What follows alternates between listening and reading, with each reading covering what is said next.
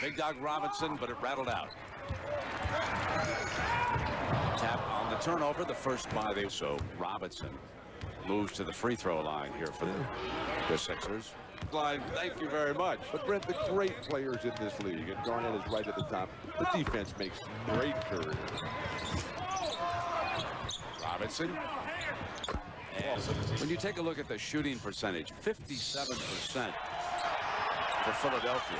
And this is a good defensive squad here that comes in with, with some stoppers. I mean, Kevin Garnett is uh, an all first draft choice out of Purdue.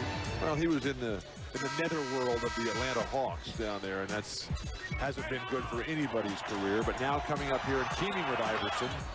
Earlier this week, Glenn Big Dog Robinson was barking at his own coach. But the Timberwolves will attempt to regroup as they did Friday night. Points coming from the big three from Minnesota. That is becoming a disturbing and alarming trend. This is the 11th free throw of this quarter for Phil. Basket grinding it out. And they've been driving, they've been fighting. He sure needed one though, Bill. Dan, I'll tell you. Back down to Cassell. That's going to do it. Minnesota